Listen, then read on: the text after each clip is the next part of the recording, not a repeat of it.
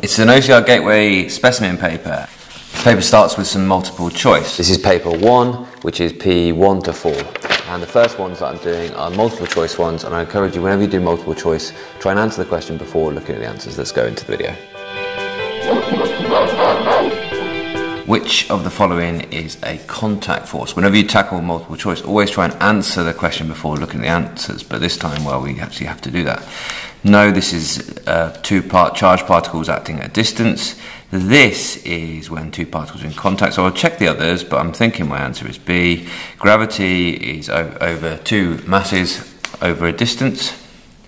Gravity is two masses being attracted to each other over a distance, and magnetism is because of magnetic materials and can be over a distance. So the only one that's contact is friction. Friction is two surfaces being in contact.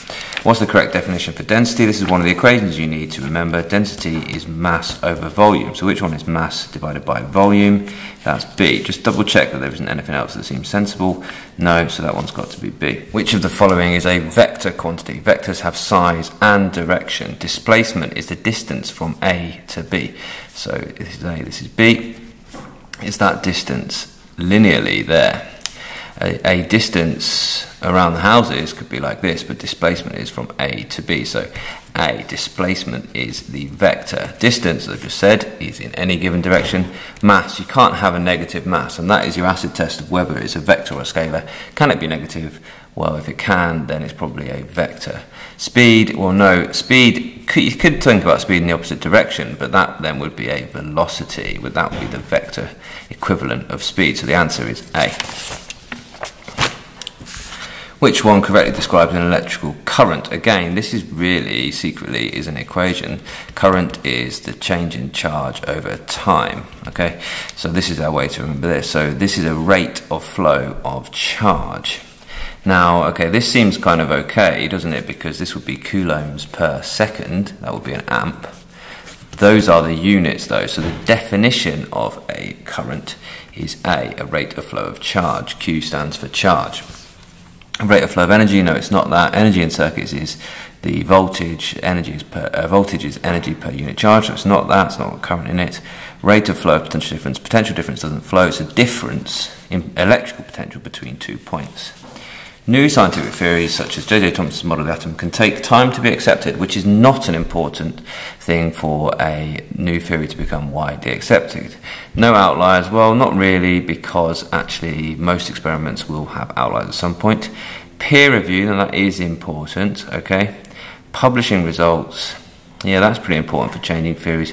Reproducibility, so somebody can do a different experiment and get the same findings. That is important. Ah, now the question asks which is not an important for a new theory to be accepted, so the answer is A. This is an important one for actually checking back and reading your question. What exactly are they expecting you to answer? What exactly are they asking you to do? Which diagram shows the correct field lines for a bar magnet? Well, okay, they're all the right shape. They're all the okay shape. Now, what do we need to know about field lines here? Field lines have arrows on them that point from north to south. So which one has arrows that go from north to south? Not this one, going towards north. Not this one, they're going towards north. Not this one, they're going towards north. So this one from north, aha, to south. So this is our correct one here. Which situation provides 10 watts of power? So this is, we've got to remember the equation that links power energy and time to do this question. Power is energy over time. So all I really need to do then is work out which one of these gives me 10 watts. So 1200 divided by 120 gives me 10, so it's going to be P. Uh, what about Q? Well, 600 divided by 60 also is 10. So both situations do that. Now here's why we should always make sure we answer the question fully before we look through the answers because if I'd have just done that bit and not bothered to try that then I would have picked B, but it's clearly not B, it's both situations. D. The graph shows four journeys. It's a distance time graph, essential skill for dealing with motion graphs. First thing you do is look at the axes and figure out what type of uh, what type of graph you're actually looking at distance versus time. Which one has the highest, highest average speed at q? Now, for a distance time graph, the gradient is equivalent to the speed. Okay, at Q. This is Q here. So the highest speed at Q is going to be line A. Student builds a step-up transformer. The transformer has 20 turns on the primary and 40 turns on the secondary. The input voltage is 10 volts. Okay, the, why does the transformer not produce the expected 20 volt out, output voltage? Hmm, well this seems to be at first glance one of these. The number of turns on the primary over the number of turns on the secondary equals the voltage on the primary over voltage on the secondary. But then you look through that, and if you do that calculation, you do get 20 volts out. So, okay, um, that probably isn't the way to tackle this question then. So what is it about? What is it about? Well, it's about that thing there. Really, this is just testing. Do you remember transformers must be AC? You must have a changing current to produce an alternating. You must have an alternating current to produce a changing magnetic field to then go ahead and produce the uh, induce the alternating voltage on the secondary. So this is the issue here. A, the input voltage is DC. Have a little look through this then. Input voltage is too high. Well, no, if I work for that, it wouldn't be that. Input voltage is too low. No, all the numbers give us the right thing here. The ratio of coils is incorrect. All the numbers give us that. It is the DC there. Which statement describes a simple model, simple model of the Earth's atmosphere? The density of the atmosphere increases with altitude. No, it's not that. The density gets less as you go up. Temperature of the atmosphere remains constant with altitude. No, that's not really what it's driving at. That's not the that's not the thing. It definitely gets colder as you go up. Um, the atmosphere is a single layer of gas of uniform density. That seems pretty sensible. Okay, the idea that we're basically at the bottom of a big column of liquid, a column of fluid, and that fluid has a uniform density. The atmosphere is thick compared to the size of the Earth. That doesn't make sense. The atmosphere is a very thin thing, really. It's only really breathable up until about five miles, and the Earth is obviously much, much, much um, larger than that. So I'm going to go for C in this case which is the correct answer, of course.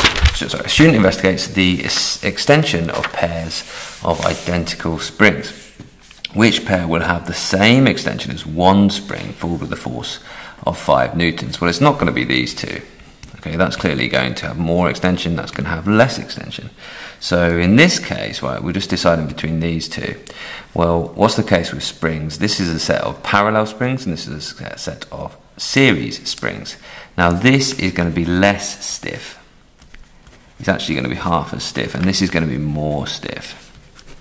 So the point we're trying to think of is we've got 5 newtons pulling on it, and we want the same extension as one spring with 5 newtons. So it's going to be B because this will extend more than one spring. This will extend four times more than one spring with five newtons, whereas this will extend the same as one spring with five newtons. A tricky one that one, but I'm sure you can get that. Hooke's law is quite a simple one really to get your head around. Okay, number 12. Two forces act on an object at right angles to each other. This is a scale diagram of the two forces. What's the resultant force? Well, what you would use here is a ruler you can see this is 5, this is 3. The resultant force of these two is this line here. Just don't think that's done very well. This is not. this is specimen paper, so they're not checked as rigorously as others, okay? Um, this probably should be 4 centimetres long and this is 3. But if I do this with Pythag, which is the most obvious way to do this type of question, See, a squared is b squared plus c squared. In other words, this is a, and this is b, and this is c. So 4 squared is 16, 3 squared is 9, so the answer is 25. So a is the root of 25, which is 5 newtons. So the answer is A. Really tricky one. I have to forgive my class now because there was a misprint in this one here. Hope that makes sense to you all the graphs show uh, journeys of four cyclists. Okay, aha, these are velocity time graphs. Okay, so I need to use a different set of skills than my distance time graphs from earlier on. Velocity time graphs. Which cyclist travels the furthest? So to work out which one travels the fur furthest, we need to use our rule about velocity time graphs, which is that distance travelled is the area underneath the graphs.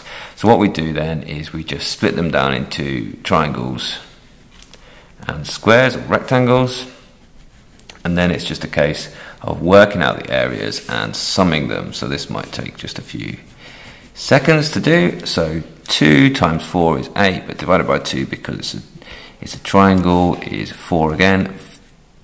2 times 4 in that section. So the total distance is 12 meters. Here 2 times 2 is 4, but divided by 2 because it's a triangle. Here 2 times 4, that's 8, that section. Here again, that's another 2. So that one is 12 meters as well. Here then, uh, 2 times 3 is 6 divided by 2, so that's a 3 meter section. And um, this is 3 times 2, which is a 6 meter section. This is 3 times 3 divided by 2, which is a 4.5 meter section, so that's 13.5 meters. And then lastly down here, 2 times 1, so that's a 1 section. 2, 1, 2, 3, 4, 5, 6, 6 times 2 is a 12 meter section, that's 1. So this is a total of 14 meters. So the answer is D. D travels the furthest. It's got the largest area underneath the graph. Area underneath a velocity time graph is the distance travelled. A boy swims in a lake of a depth of 1 meter. What's the change in pressure if he swims at a depth of 2 meters. Uh, assume that G is 10 and the density of water is 1000 kilograms per meter cubed. So the change in pressure if he swims at depth of this, so he's gone from 1 meter to 2 meters. So this is using the equation which you get given. Pressure in a column of liquid is the density times G times the height of that column of liquid. I'm not sure if I've written those the same way around as they're given in the book, but that doesn't really matter. So, but we're, remember we're looking at the change in, in pressure. So there's two ways. You could work out the pressure here and the pressure here, but that would be two calculations. Or you could just realise that it's actually proportional, the pressure, to the height. So if we've doubled, doubled the depth, we've doubled the pressure. So I'm just going to use a kind of change in height being one metre. Okay, so here we go. Density.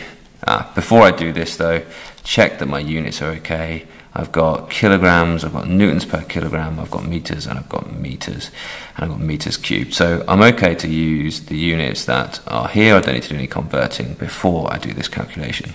1000 times 10 times 1 gives me yeah, 10,000 pascals, which is answer C. Again, I didn't look at the answers, I did the calculation before I picked my answer. A loaded trolley with mass of 10 kilograms travels at 10 meters per second. What happens to the kinetic energy of the trolley if the speed doubles and the mass halves? So you don't actually need these numbers, okay, but you can use them. Um, you need to use the equation for kinetic energy, which is kinetic energy is a half mv squared. So why don't we need to actually use the um, use the numbers? Because if we double the speed, then we quadruple the kinetic energy. The mass halves though, so we've only got doubled the kinetic energy now. So the answer is A. You can do this though, because in this case they've given you the numbers, so you can actually work out like this. Well, work out before, so half times 10 times 10 squared gives us, half times 10 is 5, times 100 gives us 500 joules. And what if we double the speed and the mass halves, well, the speed is now going to be 20 meters per second. The mass halves, so that's going to be 5. So I can put all those numbers in again. Okay, I go half times 5 times 20 squared, which is. It's partly because I'm lazy, but partly because the calculator makes fewer errors than I do. So now a thousand joules which is double the kinetic energy. I hope that was useful to you. I'm Kit Masters at Gorilla Physics, all about you understanding more, so you get more confident, you're going to enjoy physics more really, and then you're going to do better in your exams. Thank you for watching. Stay tuned for some more.